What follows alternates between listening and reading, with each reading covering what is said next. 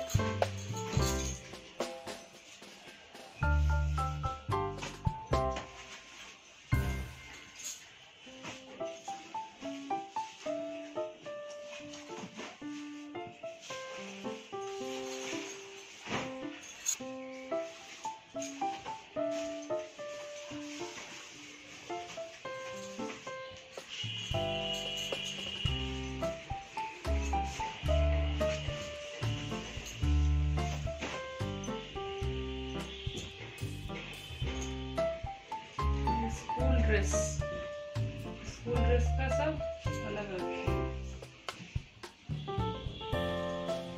ये है बच्चों का स्कूल ड्रेस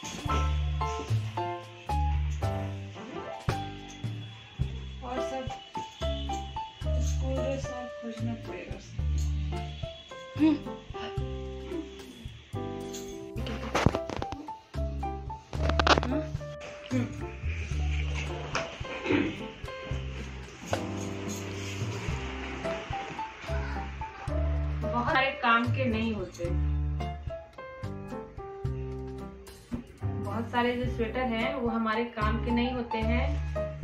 छोटे हो जाते हैं, थोड़े पुराने हो जाते हैं। ज़्यादातर स्वेटर जो है, वो छोटा हो जाता है बच्चों का। तो उनको फिर मैं अलग करके निकाल दूँगी। बच्चे पहन नहीं रहे हैं तो फिर अपने कोई काम का नहीं है। और फिर इन स्वेटर को मैं किसी गरीब को दे दूँगी। तो उनके भी काम आ जाएगा, और अपने बच्चे उसको पहन भी नहीं रहे हैं।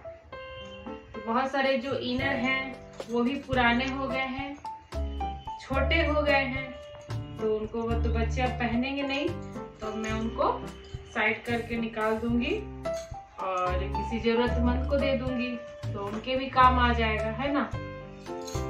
जो हमारे काम का नहीं है, ऐसे ही पड़ा हुआ है और अच्छी स्थिति में है तो किसी जरूरतमंद को दे देना, अच्छी बात होती है है ना फ्रेंड्स जिनके पास बहुत सारा पैसा होता है, पैसे वाले लोग होते हैं, उनको तो अच्छे अच्छे कपड़े दान करने चाहिए। हम लोग मिडिल क्लास फैमिली एकदम एफ़ न्यू तो दान नहीं करते हैं। अभी तक मैंने किसी को एफ़ न्यू दान नहीं किया है। हाँ जो हमारे काम का नहीं होता है, जो छोटा हो जाता है, उसको मैं किसी जरूरतमंद को दे देती हूँ, जो हमारे घर काम करने आती हैं। उनके, उनको अच्छा इन सब का यूज़ हो जाता है। जो हमारे पुराने कपड़े हैं, जो छोटे हो गए हैं, उनका यूज़ हो जाता है, उनका काम आ जाता है है ना? तो दान करते रहना चाहिए, अपनी हैसियत के अनुसार भी। तो हम लोग तो खैर इतने बड़े लोग नहीं हैं कि एकदम नए नए कपड़े दान करें। जब होगा तो नए कपड़े भी दान करेंगे। फ़िलहाल, पुराने कपड़े ही जरूरतमंद को दे देंगे तो वो भी दुआ देंगे हमको।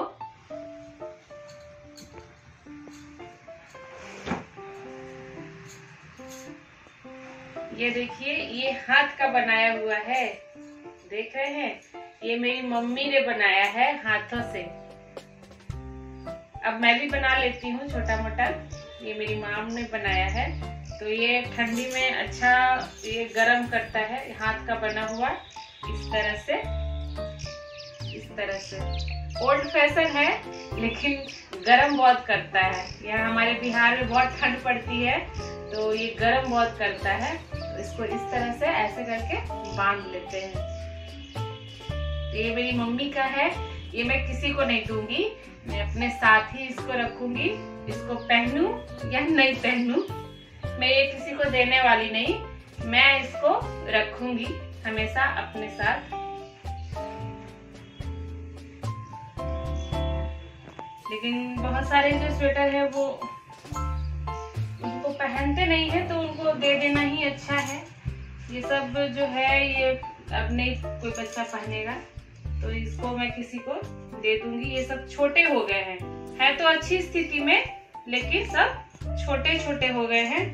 तो मैं किसी जरूरतमंद को दे दूँगी इनको तो उनके भी काम आ जाएगा। अगली ठंडी अगली ठंडी। इसको मैं अच्छे से रख दूँगी और किसी जरूरतमंद को अगली ठंडी दूँगी। इस ठंडी नहीं, क्योंकि वो लोग भी ना इसको अच्छे से संभाल के नहीं रखते। उनके पास भी जो बेचारे गरीब होते हैं, उनके पास भी रखने का कहाँ जगह होता है? तो मैं इसको अभी फ़िलहाल संभाल के अलग से रख दूँगी और फिर उनको नेक्स्ट जब ठंडी आएगी ना तो गरीबों को दे दूँगी। ये बच्चों का है, स्कूल ड्रेस का है तो ये बच्चे अब नहीं पहनते हैं तो इनको भी मैं दे दूँगी। लेकिन इस ठंडी नहीं, ये ठंडी तो खत्म हो गया। और लॉकडाउन की वजह से हम लोग इस इस ठंडी यहाँ रहते तो इसी ठंडी में दे देती। लेकिन यहाँ ठीक नहीं इस ठंड, चली गई एमपी तो ये सब ऐसा ही रखा रह गया। तो कोई बात नहीं, अगली ठंडी, ये सब कपड़े, ऊनी कपड़े तो खराब होते नहीं है। ऊनी कपड़े जो हाथ के बने होते हैं, वो अच्छा लंबा साल चलता है। बीस साल, पंद्रह साल, आराम से जो हाथ से बने हुए स्वेटर होते हैं, वो चलते हैं। तो इस ठंडी तो मैं नहीं किसी को दे पाई, लेकिन अगली ठंडी आने से पहले ही मैं किसी जरूरतमंद को दे दूँगी। फ़िलहाल इसको भी मैं संभाल के रख दूँगी अलग से।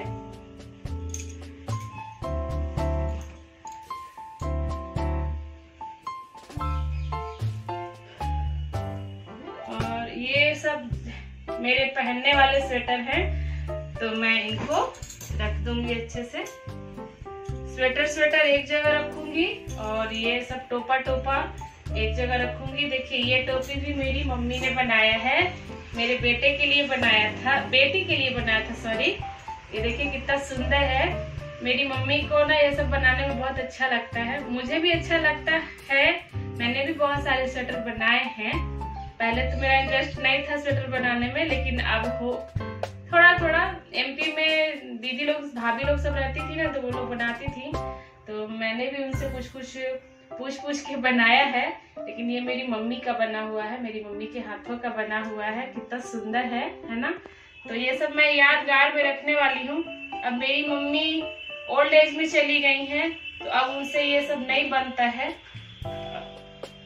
तो ये सब उनके यादगार, उनके हाथों का बना हुआ यादगार मैं रखने वाली हूँ कुछ कुछ। ये देखिए, मैंने मैंने अपने हाथों से बनाया है। ये मैंने अपने हाथों से एमपी में भाभी लोग से पूछ पूछ के बनाया है। एमपी में एक भाभी है, मीना भाभी तो उनसे मैंने पूछ पूछ के बनाया है। उनके हाथों में भी बहुत कला है। तो थोड़ा बहुत मैंने उनसे पूछ पूछ के बनाया। मुझे बस उल्टा सीधा बनाने आता है स्वेटर। ज़्यादा मुझे कुछ नहीं आता। हाँ कोई बता देते हैं तो मैं उनसे पूछ पूछ के बना लेती हूँ। बाकी उल्टा सीधा बस बनाने आता मुझे। लेकिन पूछ पूछ के वो भी मैं बना लेती। ये देखिए, मैंने स्वेटर भी बनाया है। इसको उल्टा करके ये देखिए, ये मैंने अपने हाथों से बनाया है। ये स्वेटर मैंने अपने हाथों से अपनी बेटी के लिए बनाया है। कैसा लग रहा है? देखिए। मगर मेरी बेटी अब इसको नहीं पहनती है। जब बनाया थे तो बहुत शौक से पहनती थी। अब बड़ी हो रही है तो वो नहीं पहनती है। देख सकते हो कितना अच्छा बनाया मैंने, मोटे उनसे। लेकिन मेरी बेटी अब नहीं पहनती है इसको। ये बहुत गर्म है। तो मैं इसको दे दूँगी किसी को।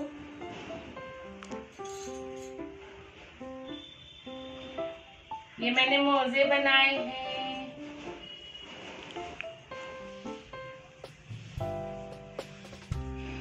ठंडी में मैं यहाँ थी नहीं ना फ्रेंड्स तो नहीं तो मैं यहाँ रहती तो ये सब मैं, ये सब पहले ही आपके साथ शेयर कर लेती। नहीं, कोई बात नहीं। लेट से ही सही। तो ये देखिए, जब मैं जमा रही हूँ, जमाने के लिए बैठी हूँ तो मैंने सोचा कि क्यों ना ये आपके साथ भी शेयर करूँ। आज के भाग दौड़ के जमाने में बहुत कम दोस्त है। यहाँ खास करके बिहार में मेरे कोई खास दोस्त नहीं है। एमपी में थे। मैंने आपको अपना दोस्त बनाया है। तो जो भी अपनी फीलिंग्स है, सुख, दुख सोचती हूँ कि आपके साथ थोड़ा बहुत शेयर करूँ। बहुत कुछ तो नहीं लेकिन थोड़ा बहुत आपके साथ शेयर करूँ। ये खुशी, ये बहुत खुशी होती है जब अपने हाथ से कुछ बनाओ ना तो बहुत अच्छा लगता है, बहुत खुशी होती है। तो मैंने सोचा कि मैं आपके साथ शेयर करूँ। ये मैंने अपने हाथों से बनाया है एमपी में, वही भाभी से पूछ पूछ के। है ना? अच्छा लगता है ना?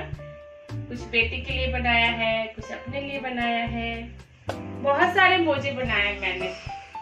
और दिखाती हूँ आपको। बहुत सारे मैंने मोजे बनाए हैं। ये देखिए, एक इस तरह का मोजा भी बनाया है मैंने। अब अगली ठंडी आएगी तो कोशिश करूँगी कि ये बुन के भी आपके साथ शेयर करूँ। अब गर्मी आ गई ना तो स्वेटर बनाने का मन नहीं करता। ये सब ठंडियों में ही बनाया जाता है। ठंडी में बैठे हो धूप में तो बुनाई का काम ठंडी में ही होता है, गर्मी में नहीं होता। तो अगर मौका मिला तो अगली ठंडी में आपके साथ इसको बुन के शेयर करूँगी। ठीक है? ये देखिए, ये भी मैंने अपने हाथों से बनाया है, बेटे के लिए। ये एक जोड़ी, बहुत सारा बनाया, बहुत सारा फट भी गया। ये देखिए, एक ये जोड़ी बनाया है।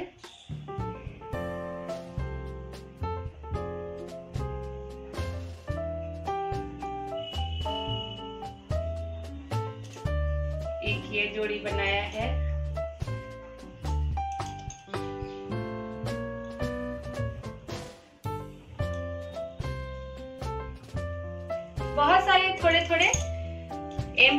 भाभी लोग बहुत बनाती थी तो उनसे पूछ पूछ के मैंने बनाया। है यहाँ बिहार में मेरे कोई भी दोस्त नहीं है फ्रेंड्स अब मेरे नए दोस्त आप लोग हैं। मैंने बहुत सारा, मैं भी यूट्यूब चैनल देखती हूँ, बहुत सारे यूट्यूबर के अच्छे खासे दोस्त हैं। तो हो सकता है कि मेरे भी बहुत सारे दोस्त हो जाए। अगर मेरा वीडियो अच्छा लगेगा, आपको तो हो सकता है आप भी मेरे दोस्त बन जाएँ। मैं बहुत सिंपल सिंपल लड़की हूँ, औरत हूँ। लड़की नहीं, औरत हूँ। बहुत ही सिंपल। मेरी भी कोशिश है कि जो कुछ भी मैं करती हूँ, वो आपके साथ शेयर करूँ।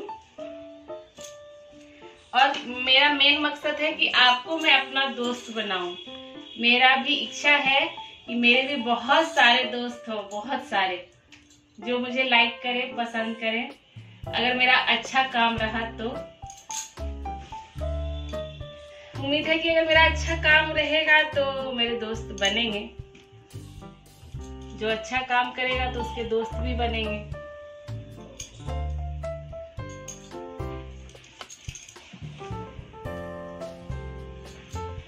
मैंने बीच में वीडियो बनाना बंद कर दिया था। जब से कोरोना हुआ है ना, तब से मैंने वीडियो बनाना बंद कर दिया। मुझे पर्सनली खुद ही कोरोना हो गया था और कोरोना के टाइम में बहुत सारे प्रियजन खत्म हो गए। तो उन सब चीज़ों का जो शौक हुआ ना तो पता नहीं क्यों मन बहुत विचलित रहता है, बहुत ज़्यादा विचलित रहता है। कोरोना के टाइम में बहुत कुछ गलत हुआ, बहुत कुछ बुरा हुआ है। तो उन सब चीज़ों के कारण मन बहुत विचलित रहता है। तो मैं वीडियो ज़्यादा नहीं बना पाती हूँ। कोशिश, अब मेरी ये कोशिश रहेगी कि मैं वीडियो बना के आपके साथ शेयर करूँ। लेकिन पता नहीं क्यों, कोरोना की वजह से मन बहुत विचलित रहता है, बहुत ज़्यादा विचलित रहता है। जैसे मैं पहले खुश रहा करती थी, उस तरह से मैं अब खुश नहीं रह पा रही हूँ। कोशिश करती हूँ, कोशिश कर रही हूँ। कि थोड़ा अपने आप को पुस्टअप करूँ।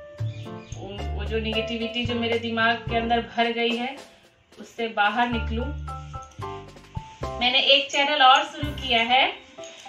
मेरा एक और शौक है, शौक क्या? मेरा एक बचपन से था कि मैं टीचर बनूं।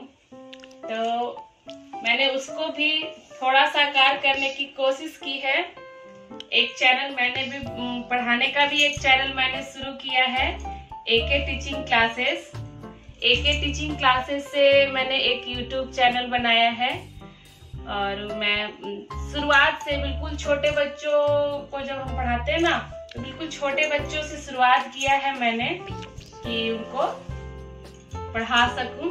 पहले मैंने पढ़ाया है, शादी से पहले मैंने स्कूल में बच्चों को पढ़ाया है और शादी के बाद मैंने अपने खुद के चार बच्चों को पढ़ाया है।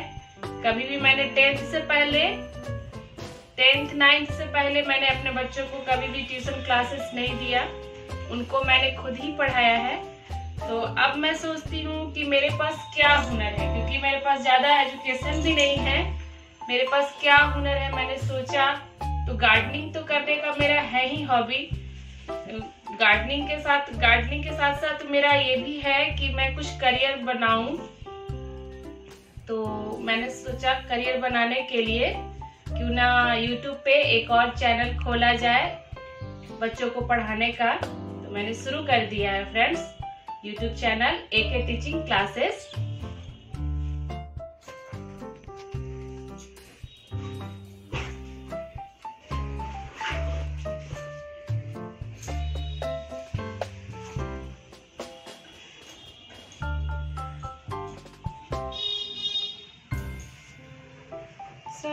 है भाई? तो मैंने बड़े वाले में स्वेटर रख दिया है। स्वेटर रख दिया है बड़े वाले में और छोटे वाले ट्रॉली में इनर रखा है और बच्चों के जैकेट स्वेटर रखे हैं। ये बच्चों का कप है, स्कूल ड्रेस है तो स्कूल ड्रेस और इनर। मैं और टोपी, बच्चों का टोपी, इनर और स्कूल का यूनिफॉर्म का जो है जैकेट वगैरह, वो सब मैंने इसमें रखा है। अभी और धोना है। अभी तो स्कूल में बच्चों का जो ब्लेजर है, अभी स्कूल में लगेगा सुबह सुबह। तो अभी बच्चों का फिर ब्लेजर वगैरह साफ़ करके फिर मैं दूसरे, ट्रॉली वगैरह में कुछ रखूँगी। और इनको थोड़ा बहुत अभी और धोना है। बहुत सारे कपड़े सब धुल गए हैं। इनको साइड में करके निकाल दूँगी। और ये सब जैकेट्स वगैरह हैं स्वेटर वगैरह मैंने इसमें एक में रख दिया है। इसमें क्या जब नेक्स्ट ठंडी आएगी ना तो निकालने में सुविधा होगा।